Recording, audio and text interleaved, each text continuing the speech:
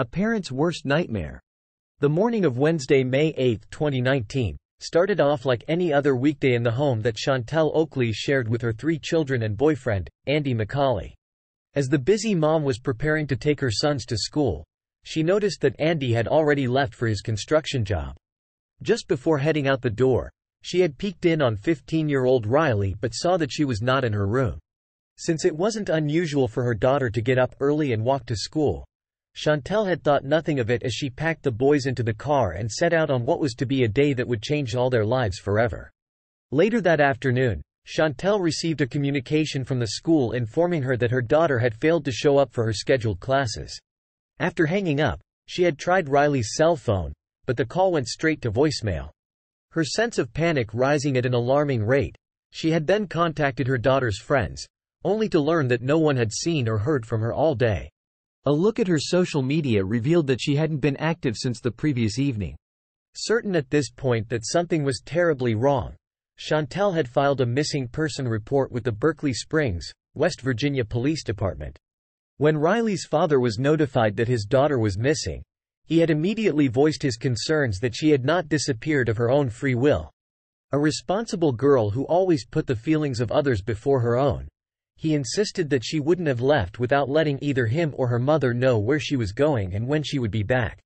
To their credit, the local authorities had taken Riley's case seriously from the get-go. A search of her bedroom would confirm their suspicions that the teenager had met with foul play. The space was messy and disorganized, but no more so than that of any other young girl who was too preoccupied with having fun to worry about keeping their room tidy. With Chantel's help, investigators went through the items piece by piece and what they uncovered was not good news. Among the clutter lay her eyeglasses and purse, two things she never left home without. They also discovered her book bag, confirming that she hadn't left the house destined for school. On a more ominous note, an examination of Riley's bed revealed bloodstains on the sheets and comforter. Spatters were also found on the interior of the bedroom door. Subsequent DNA testing would confirm that the blood was Riley's. When detectives tried to pinpoint her location by pinging her cell phone, they discovered that the device was turned off.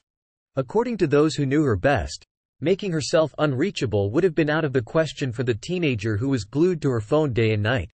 The timeline of events leading up to Riley's disappearance showed that the last person known to have contact with her in person was her grandmother, who had seen her alive and well at 7 o'clock on Tuesday evening.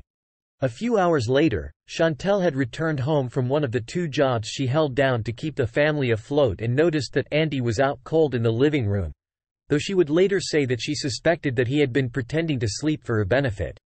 Figuring that her children were safely tucked away in their beds, she had retired for the night. A look into Riley's phone activity on the evening she went missing revealed that she had exchanged messages with friends for a while before signing off. At around 11 o'clock, she was active again, sending a chilling text to her boyfriend Hayden that read, Andy is in my room. I'm scared. Unfortunately, having already fallen asleep, he wouldn't see the message until later that morning and by then, it was too late. Suspecting that he held the key to finding Riley, Detectives brought 41-year-old Andy McCauley in for questioning. The way he remembered it, he had last seen his girlfriend's daughter sometime between 9.30 and 10 o'clock when she told him she was turning in for the night.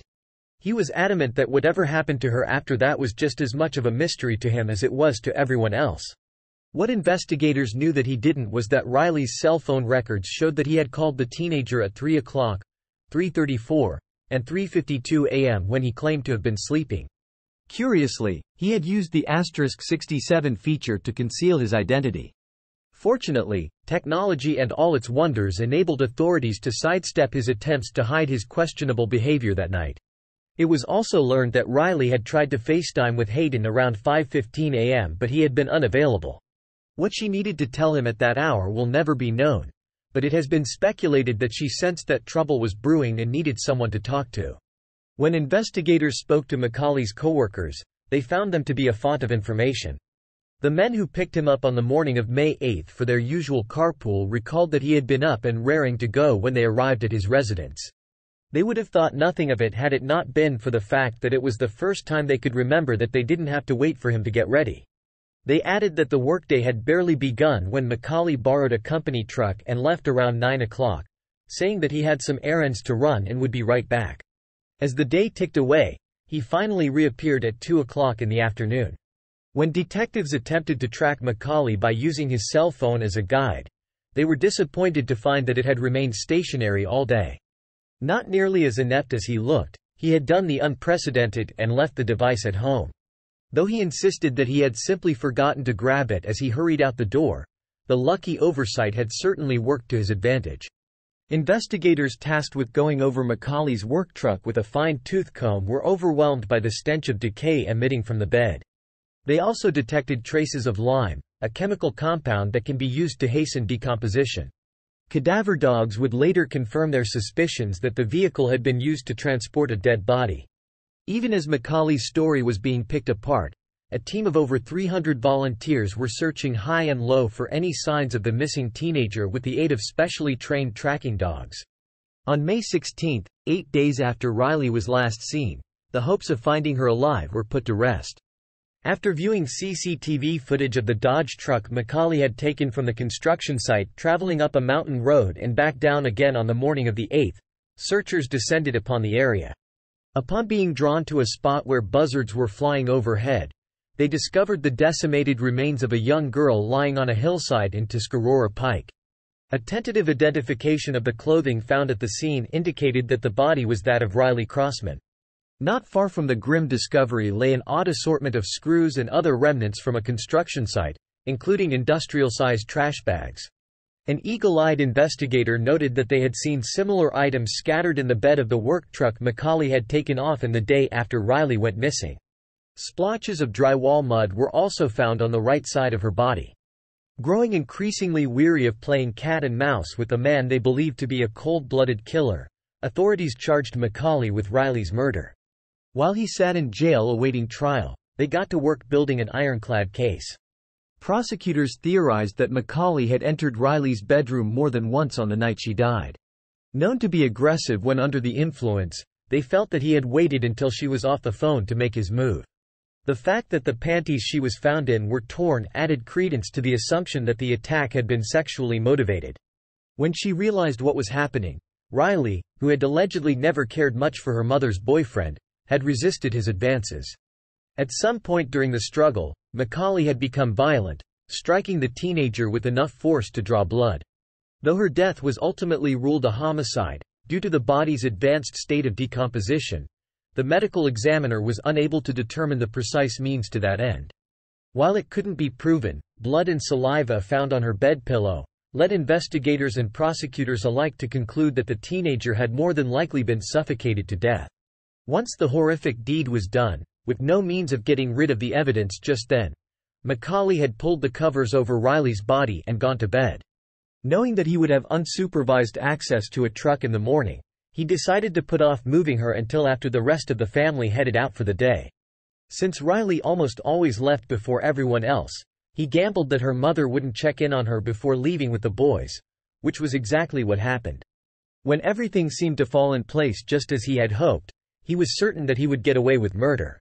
At around 9.30 a.m., he had backed the truck up to the house on Greenway Drive and loaded Riley's body in the back end. He had then driven to Tuscarora Pike to dump her remains in the woods. Confident that he had covered all the bases, he hadn't taken into account that his movements were being captured on security cameras. First as he passed by a school and later at a store facing the road leading to the mountain where the body would be found much sooner than he had expected. When the footage was brought to his attention, he asserted that he had borrowed the truck for a couple of hours not to hide a body, but rather to purchase cocaine. After being informed that his route had been the same one used by Riley's killer, he changed his story. In this latest version of the truth, he claimed that he had gone to the mountain to shoot up. Though confessing to one crime to cover another was a novel idea, detectives had seen right through his charade. In October of 2021, after two long years of legal wrangling, a Morgan County jury found McCauley guilty of first-degree murder in the senseless slaying of Riley Crossman and sentenced him to life in prison. He was also convicted on a separate count of child abuse resulting in death, for which he received a second life sentence. Though the defense team had filed a motion asking that their client be allowed to serve the sentences concurrently, which would have opened a window for his future release, the judge who had overseen the case dismissed the request. Instead of taking the chance that McCauley could one day be unleashed upon an unsuspecting public, Circuit Court Judge Deborah McLaughlin ruled that the sentences would run consecutively, all but ensuring that Riley's killer will spend the rest of his life behind bars. While knowing that the individual who took Riley's life would never be able to hurt anyone else had brought a measure of comfort to those who knew and loved the warm, friendly teenager, it didn't change the sad fact that they would be forced to face a future that she would never know. Finding it unbearable to live under the same roof where her daughter died at the hands of her former boyfriend, Chantel packed up her sons and moved to an undisclosed location. The house, tainted by the events of that dreadful spring night, was demolished in 2021. Although the world will never know the woman Riley would have been, it was clear to everyone in her circle that she was reaching for the sky and would have achieved her goals if only time had allowed. A talented singer, dancer and artist, Riley had excelled at everything she put her mind to. Funny, smart and imperfectly perfect, she was a force to be reckoned with. Whether her determination to live life to the fullest came naturally or from an intuitive belief that her days would be short, in the end, she had made the most of every precious moment.